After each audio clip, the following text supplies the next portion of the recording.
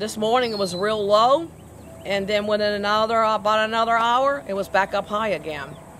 This particular area here is very low line, and so with this, um, it's uh, this is common, and we have to pick up everything, and we have to move all our vehicles. Right now, they're in a parking lot at Walmart, and we have to wait for all of this to go out here. The water is just it's just a constant problem. Actually, it's it's in a way it's a little better than what it used to be. But anytime you have a hurricane, we may you may not even get a drop of rain, and you're still going to get all this water.